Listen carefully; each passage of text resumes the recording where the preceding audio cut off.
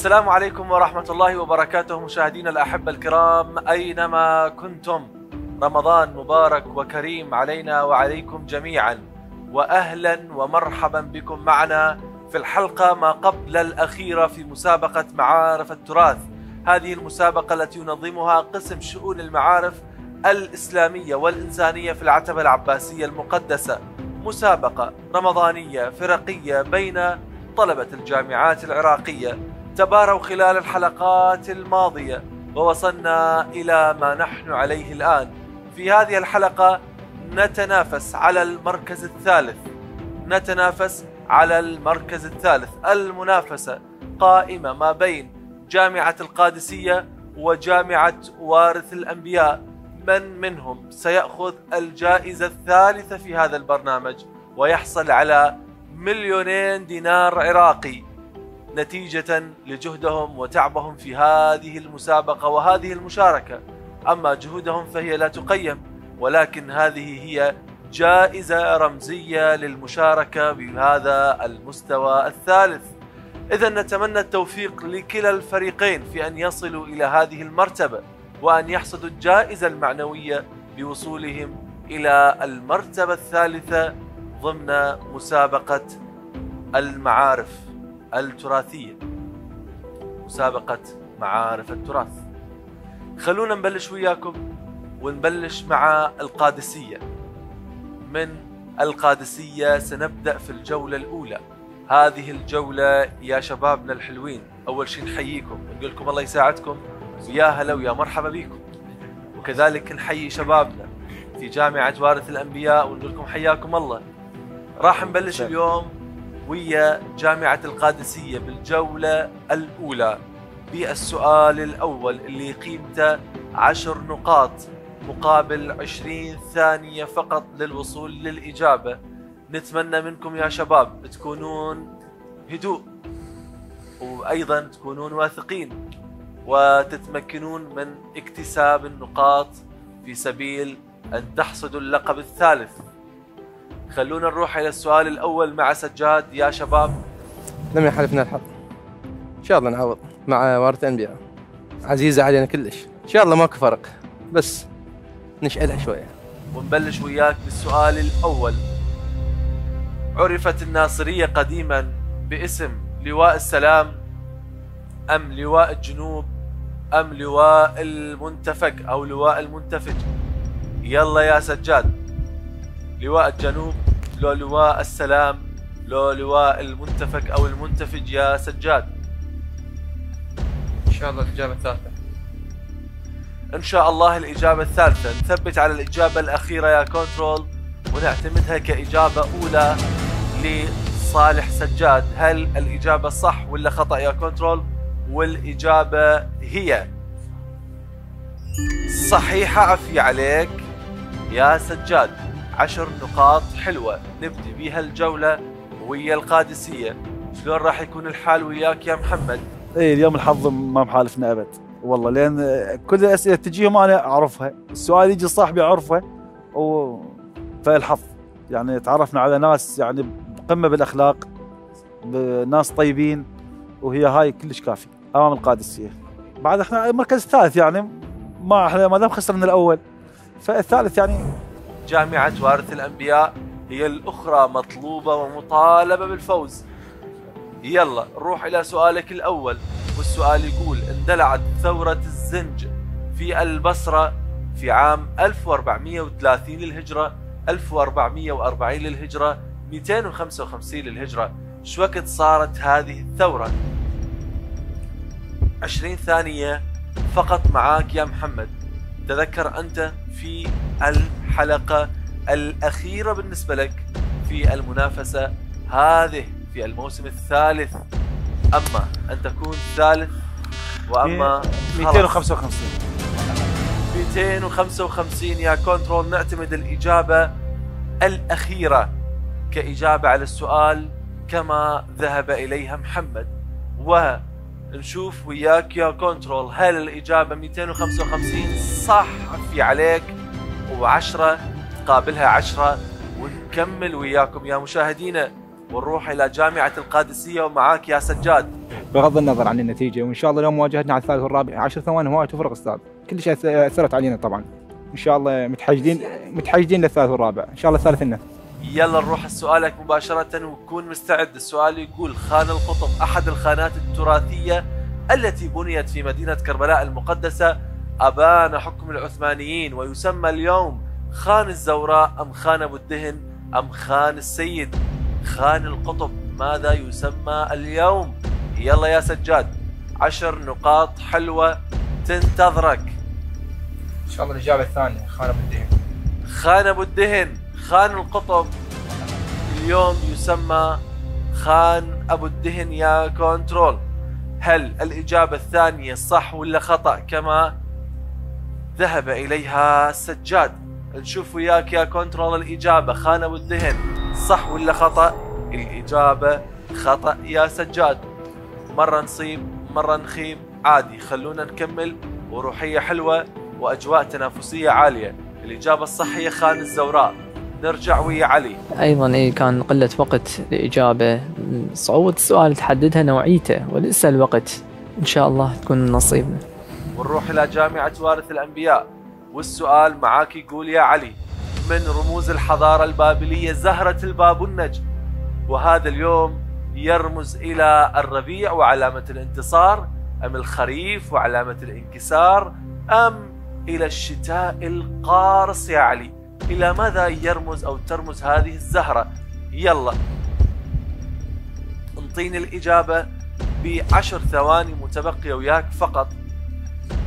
ننتظر ثمانية سبعة الربيع ستة. وعلامة الانتصار. الربيع وعلامة الانتصار. يلا كنترول. زهرة البابونج ترمز إلى الربيع وعلامة الانتصار. هل صحيحة هذه الإجابة يا كنترول؟ علي يقول هكذا. وأنت شو تقول يا كنترول؟ هل الربيع وعلامة الانتصار هي ما تعنيه زهرة البابونج يا كنترول؟ الإجابة يا كنترول. عشرة عندهم فقط يا كنترول. هل تصير عشرين؟ يقول تصير عشرين. وإجابة صحيحة وعفي عليكم. عشرين تقابلها عشرة.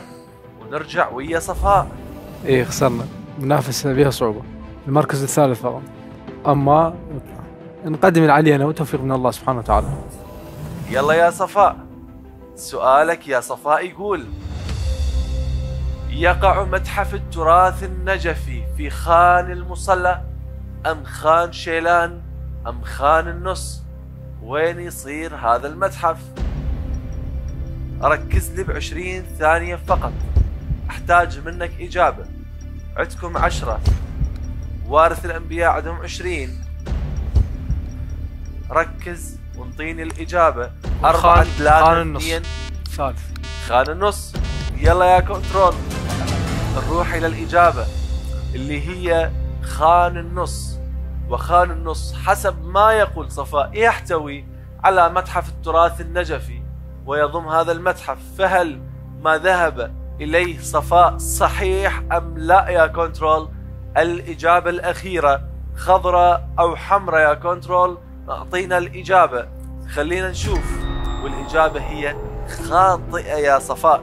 الإجابة ليست كذلك. الإجابة الصح هي خان شيلان. خلونا حلوين. عشر حلوات وعندنا بعد سؤال في نهاية هذه الجولة. يلا يا حسن. بالفوز وبالخسارة نحمد الله ونشكره. خسرنا ويا جامعة الكوفة. المسابقة الحمد لله كانت تنافسية بها أكثر مسابقة من المستويات الباقية يعني. جامعة القادسية تربطنا علاقة بهم أخوية من بداية البطولة لحد الآن. فأخذنا الثالث الرابع إحنا وياهم أخوة. نروح إلى سؤالك. إيقاع الحلقة سريع بإجاباتكم لأن ما بينا حيل نتأذى.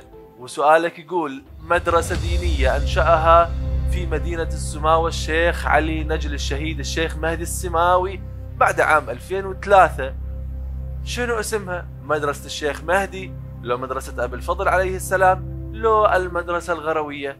يلا ركز لي وانطيني الإجابة. 20 ثانية وياك بس.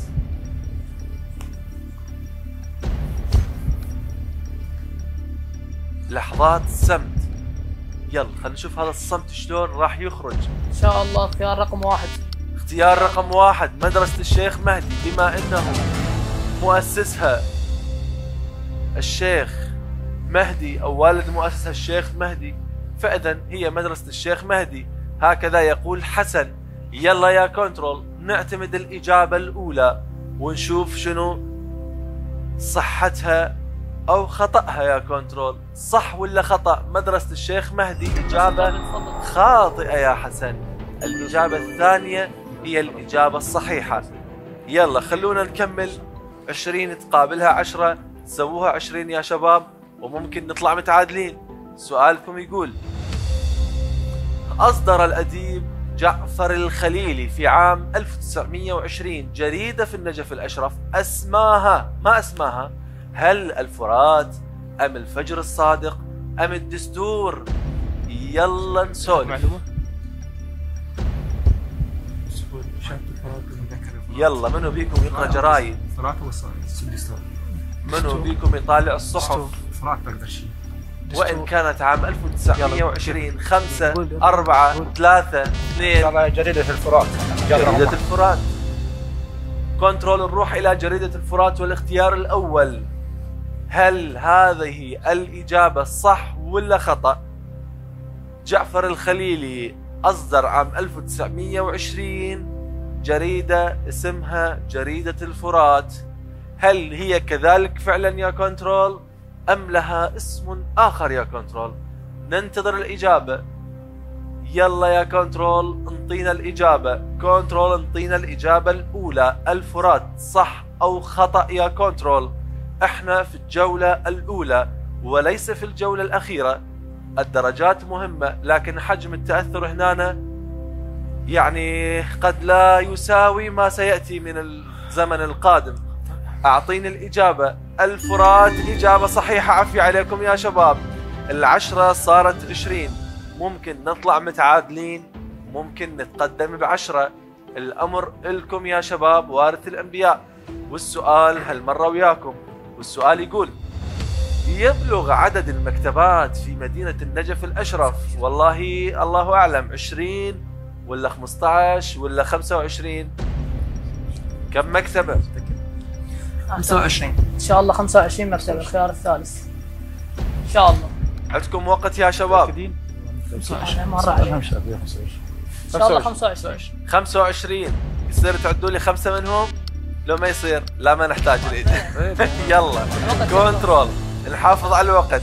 ونروح إلى 25 هل الإجابة صح ولا خطأ يا كنترول؟ يصيرون 30 والفارق 10 ونروح للجولة الثانية؟ لو نبقى متعادلين يا كنترول. أنتظر منك وينتظرون وياك الإجابة والإجابة صح. عفي عليكم يا شباب. 20 صارت 30 30 نقطة تقابلها 20 الفارق قليل جدا. يكاد ألا يذكر لأن الجولات الجاية هي اللي راح تحسم النتائج. خلونا نروح وياكم مشاهدينا الأحبة. وأكيد مع فرقنا الأبطال إلى فاصل قصير. بعد الفاصل راجعين ونكمل المسابقة بجولتها الثانية. خليكم منتظرين. فاصل وراجعين. رجعنا وياكم مشاهدينا الأحبة الكرام بعد هذا الفاصل القصير. حتى نواصل وياكم حلقتنا لهذا اليوم في مسابقة معارف التراث. مثل ما شفنا ومثل ما تعرفنا بالجزء الأول من هذه الحلقة. اليوم يتبارى اثنين من الفرق. جامعة القادسية وجامعة وارث الأنبياء. ليش يتبارون اليوم؟ حتى نعرف من راح ياخذ المركز الثالث في هذه المسابقة.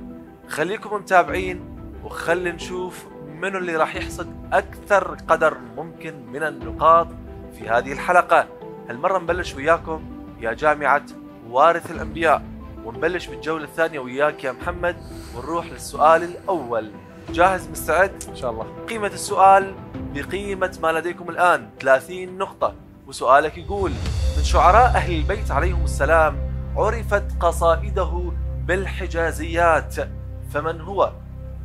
ابن أبي الحديد المعتزلي أم الشريف الرضي أم مهيار الديلمي؟ من من هؤلاء؟ 20 ثانية وياك.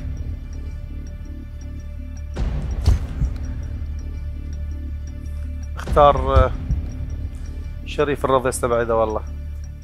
ستة خمسة اختار رقم واحد. أربعة. رقم واحد. رقم واحد. ابن أبي الحديد المعتزلي يا كنترول. نذهب إلى الاختيار الأول كإجابة على السؤال الأول في الجولة الثانية مع محمد ولصالح وارث الأنبياء. هل الإجابة صح أو خطأ يا كنترول؟ ابن أبي الحديد المعتزلي إجابة خاطئة. الشريف الرضي من استبعد هو الإجابة الصحيحة. إذا إذا نحتاج نركز أكثر يا شباب. نرجع وياكم يا حبايبنا. ونرجع ويا سجاد. والسؤال الأول ويا جامعة القادسية بالجولة الثانية يقول وين السؤال؟ من مؤلف كتاب سر الفصاحة؟ هل هو ابن سنان الخفاجي؟ أم ابن طباطبة العلوي أم الأصمعي؟ سر الفصاحة. يلا سر الفصاحة. من مؤلفه؟ ثمانية سبعة ستة خمسة. أسمعي الأصمعي. كنترول نروح إلى الإجابة رقم ثلاثة. ونقول الأصمعي هي الإجابة الصحيحة كما يقول سجاد.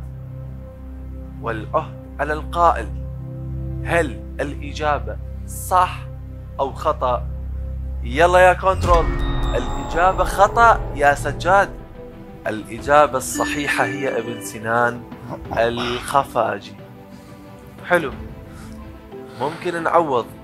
ممكن نعوض يا شباب. علي خليك مستعد ونروح لسؤالك سؤالك يقول تعد مدرسة الإيرواني من مدارس النجف الدينية المهمة وقد أسسها الحاج مهدي الإيرواني أم الشيخ محمد تقي الإيرواني أم السيد أبو الحسن الأصفهاني؟ من هو مؤسس هذه المدرسة؟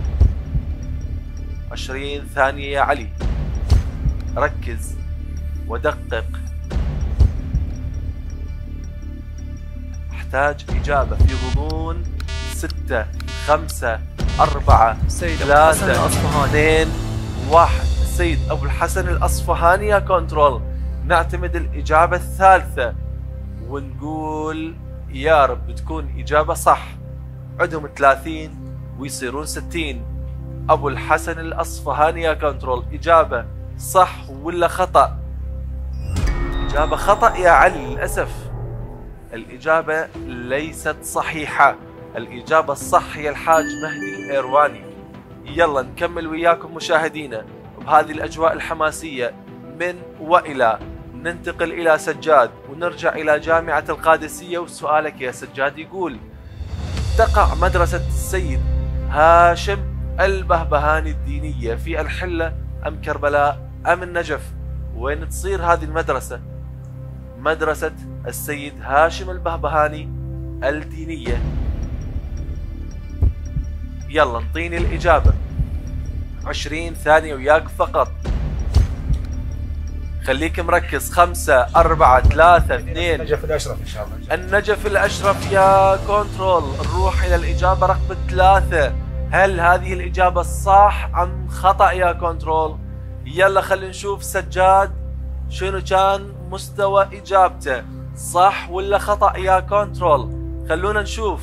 النجف الأشرف الاختيار الثالث. إجابة صح. عفي عليكم يا شباب.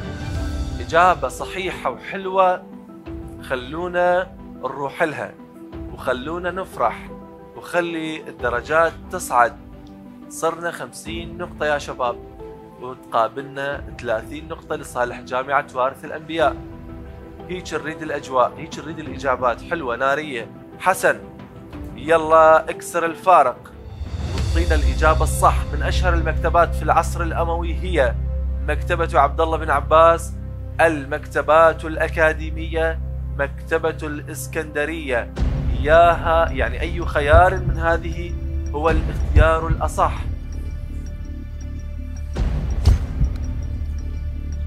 إن شاء الله الخيار رقم واحد. إن شاء الله. مكتبة عبد الله بن عباس. أشهر المكتبات في العصر الأموي. أعتقد. تعتقد. نعتمد الإجابة الأولى يا كنترول كما يعتقد حسن. ولكن ما يعتقده حسن ليس بالضرورة كما تعتقد أنت. فننتظر منك الإجابة يا كنترول. يلا يا مشاهدينا. يلا يا شباب نشوف مكتبة عبد الله بن عباس. هل هي أشهر المكتبات في العصر الأموي يا كنترول؟ أم لا؟ مكتبة عبد الله بن عباس يا كنترول. هل هي الأشهر؟ ننتظر الإجابة. الإجابة صح عفي عليك يا حسن. كسرنا الفارق. صرنا 60 نقطة قابلنا 50 نقطة. الأجواء حلوة صفاء. يعني بدينا نتحمل المسؤولية بشكل أكبر. بعد خلص يعني لازم تكون إجاباتنا حاسمة. سؤالك يقول هو أحد أهم المتاحف في العراق؟ إذ ضمت بنايته الجديدة أربعة قاعات إحداهما أو إحداها للآثار القديمة وأخرى للآثار الآشورية وأخرى للآثار الحضرية والأخيرة للآثار الإسلامية. يا متحف بهذا الكبر بهذا الحجم. هل هو متحف دهوك الوطني متحف الموصل أم متحف تكريت أي هذه المتاحف تعتقد بأنه بهذه المواصفات يا صفاء يلا أعطيني الإجابة. 20 ثانية وياك. و30 نقطة نريد منك. خلينا نحسب. خمسة أربعة ثلاثة تكريت إن شاء الله. اثنين واحد. تكريت. متحف تكريت كنترول يثبت على الإجابة الثالثة ويقول متحف تكريت. يلا يا كنترول تعالوا ويانا وخلينا نشوف المتحف تكريت. صح ولا خطأ؟ خطأ يا صفاء. الإجابة هي متحف الموصل. بس هذا السؤال إحنا نتفق.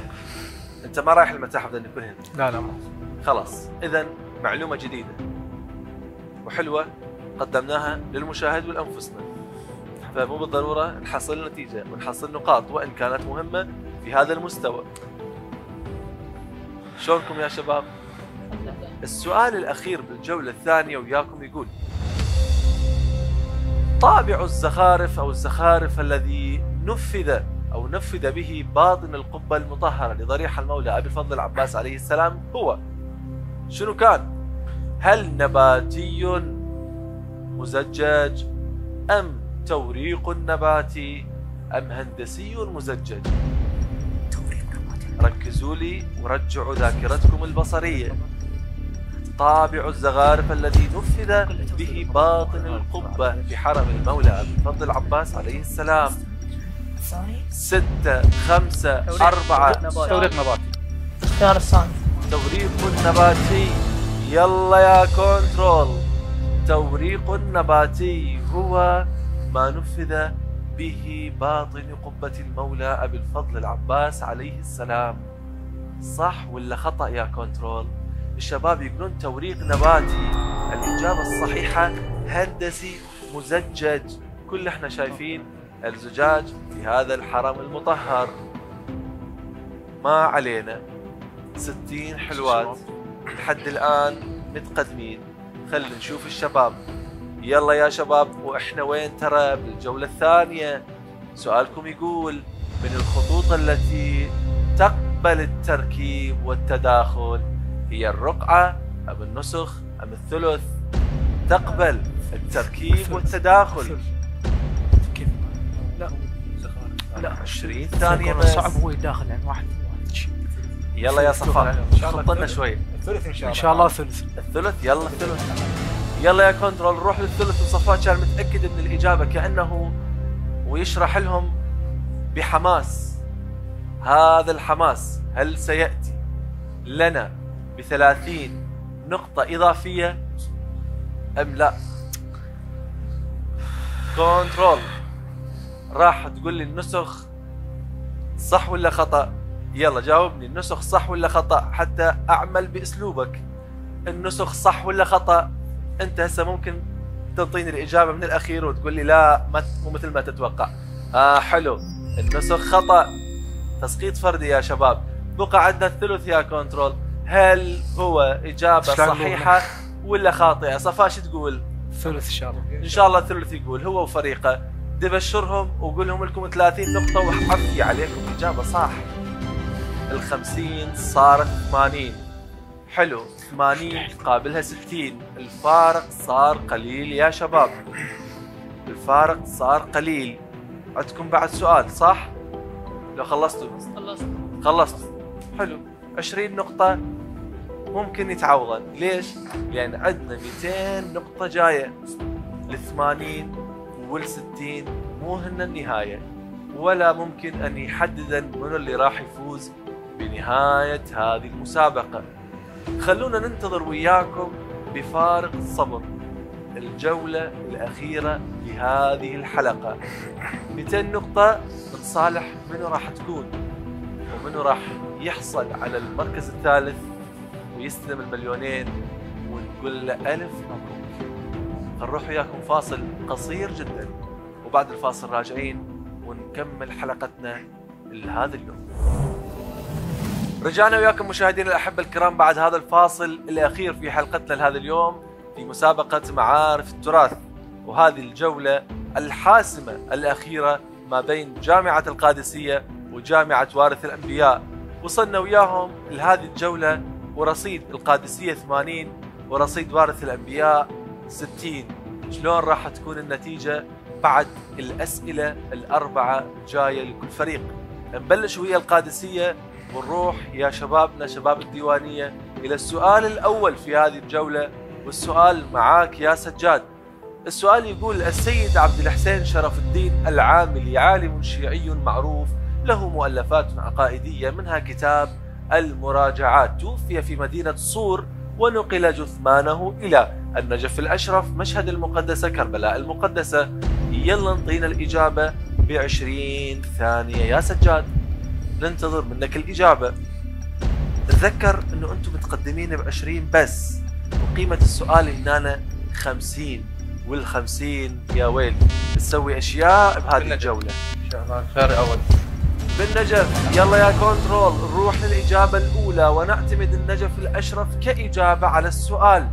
ونتمنى أن تكون إجابة صحيحة يا كنترول وخلينا نشوف وياك الإجابة. النجف الأشرف. صح ولا خطأ يا كنترول؟ إجابة صح عفي عليك يا سجاد. ال 80 نحط لها 50 وتصير 130 نقطة. حلو. نرجع ويا شبابنا ويا وارث الأنبياء. خلي نشوف سؤالك يا محمد. سؤالك يا محمد يقول جعفر بن أبي طالب الهاشمي القرشي المشهور بجعفر الطيار أو ذي الجناحين. استشهد في معركة مؤتة ودفن في الأردن سوريا فلسطين. الأردن. الأردن. الأردن. الثبت. طبعاً 20 أثبت. ثانية وياك. طبعا نثبت؟ طبعا. خلاص. ثبت يا كنترول نروح إلى الأردن ونعتمد الإجابة الأولى لمكان مرقد جعفر الطيار. هل هذه الإجابة صح ولا خطأ؟ يا كنترول ننتظر ويا محمد وهو واثق من إجابته طبعا. الاجابه صحيحة عفي عليك. طبعا. ونضيف 50 نقطة إلى رصيدنا. تصير 110 110 مقابل 130 ونرجع السجاد والسؤال الفردي الأخير وياك في عمر هذه المسابقة. يقول يا سجاد حاول توصل للإجابة الصحيحة. فقيه أصولي ومرجع تقليد شيعي وزعيم ديني سياسي لقب بالآخند الخراساني. هل هو آية الله الشيخ محمد حسين بن إسماعيل الخراساني؟ أم الملا الشيخ محمد كاظم ابن الملا حسين الهروي؟ أم السيد علي التستري؟ من من هؤلاء؟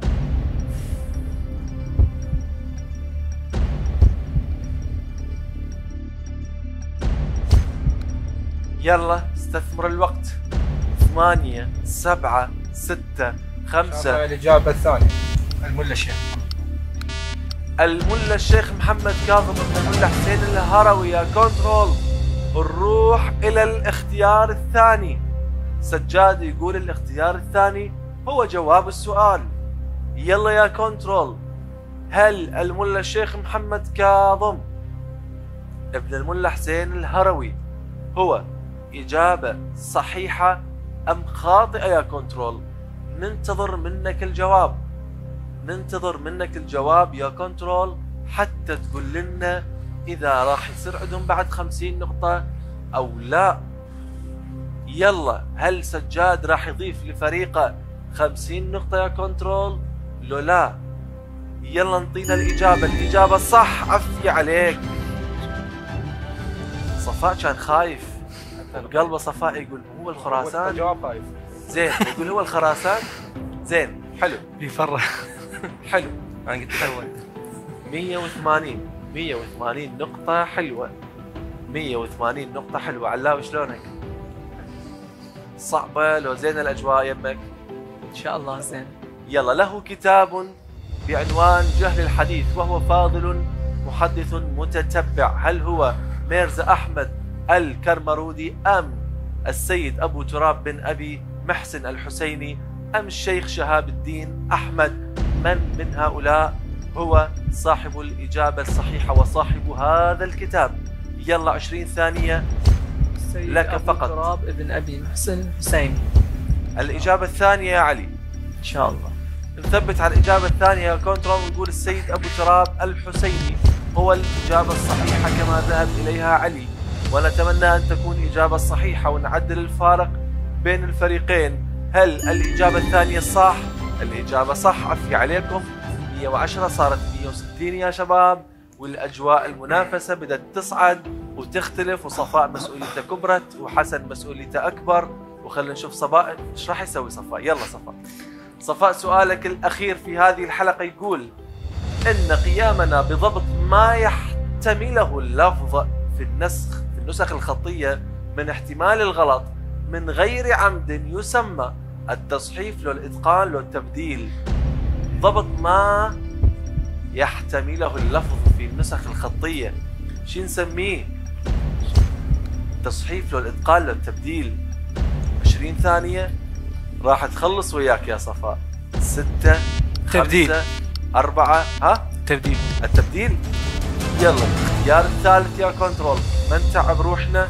فنروح للاختيار الثالث. وانطينا الإجابة وخلينا نشوف الجواب. صح لو خطأ يا كنترول. التبديل. وإن كان سجاد ما مقتنع ويهز براسه. التبديل. إجابة صح لو خطأ يا كنترول. كنترول يقول لا خطأ. التصحيف هو الإجابة الصحيحة كما همس بإذن سجاد. حلو. خلونا نرضى بالنصيب يا شباب. كل واحد ياكل رزقه والنتيجة لابد أن تحسب بفائز واحد وخاسر واحد. خلونا مؤمنين بهذه القاعدة. وخلي نروح الحسن ونشوف حسن شلون راح يعدل الإجابة. عندهم 180 وعندك سؤال اقلب الطاولة وخلي الفرصة أكبر. سؤالك يقول يا حسن عادة ما يقوم النساخ والمؤلفون بكتابة آخر النسخة على شكل مثلث يطلق عليه المثلثة أم الحردلة أم التعقيبة ماذا يسمى على هذا الشكل أو على هذا المثلث؟ ماذا يطلق عليه؟ التعقيبة الحردلة المثلثة يا حسن. عندك عشر ثواني. تسعة ثمانية سبعة ستة إن شاء الله خمسة. خيار رقم اثنين. الحردلة. الخيار رقم اثنين. إن الحردلة. نروح ويا الحردلة يا كنترول. وهذه الإجابة الأخيرة لحسن في تاريخ هذه المسابقة بموسمها الثالث. هل سيأتي بخمسين نقطة؟ ويعدل الفارق. لو لا يا كنترول. الحردلة هي إجابة حسن. وإجابتك يا كنترول هي واحد لو اثنين لو ثلاثة يا كنترول. الكنترول يقول خليه يقول الكنترول وخليه يسولف. ونتمنى يسولف الكنترول لكن الكنترول ما حاب يتكلم. لا والله تكلم. يقول الحردلة صح عفية عليك ولا ترجع. الحردلة إجابة صحيحة عفي عليك يا حسن. 210 تقابلها 180 ما انتهت اللعبة يا شباب. سؤال واحد هو الفيصل. إذا جاوبنا هنا عندنا فرصة إنه نفوز. إذا ما جاوبنا لا خلاص نقول لهم مبروك يا وارث الأنبياء. يلا نكون كالجسد الواحد بروح الفريق الحقيقية الفعلية. هنا نحتاج همتكم وإجابتكم على السؤال. ونروح سوية وياكم والمشاهدين إلى السؤال الأخير. رسالة علمية مشتملة على المسائل التي اتفقت عليها آراء العلماء. من الأحياء والأموات فيجوز العمل بها في جميع الأعصار للمولى محمد حسين الطهراني المجاور للحائر يطلق عليها رسالة في إثبات الموجود. المجرد أم رسالة في إثبات الواجب الوسيط أم الرسالة الاتفاقية؟ يا شباب سولفوا بيناتكم. أرجوكم سولفوا وانطوني إجابة صحيحة وخلي أجواء اللعبة عالية. نروح مع الاجابه الاولى الإجابة الأولى إن شاء الله. مجرد. كنترول وأنا يعني حالي من حالهم يا كنترول. حقيقة يعني مشاعرهم الآن وقلوبهم تكاد أن تسمع يعني دقاتها السريعة. فيا كنترول سهل علينا المهمة وانطينا الإجابة بأسرع شكل ممكن يا كنترول.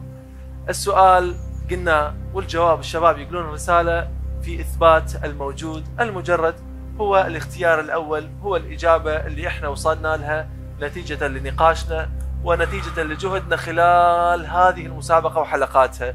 فهل راح تكون هذه الإجابة هي من ستؤدي بنا إلى المرتبة الثالثة ونكون أصحاب اللقب الثالث؟